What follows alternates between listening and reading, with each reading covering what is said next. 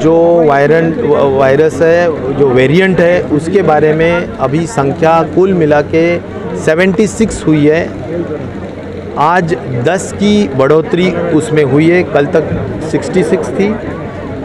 डरने वाली कोई बात नहीं है। हमारा जो प्रोजेक्ट है, जिसमें हम वीकली सैंपल्स लेते हैं, हर डिस्ट्रिक्ट से लेते हैं हंड्रेड और गवर्नमेंट ऑफ़ इंडिया का आईसीएमआर और गवर्नमेंट ऑफ़ महाराष्ट्र का डीएमईआर इनके माध्यम से इनके संयुक्त माध्यम से यह प्रकल्प हम इम्प्लीमेंट कर रहे हैं। ख़ास तौर पर नेशनल इंस्टीट्यूट ऑफ़ वायरोलॉजी में इसकी जो टेस्टिंग है और एनालिसिस है वो होता है और इससे पता चलता है कि डेल्टा प्लस वेरिएंट है या नहीं।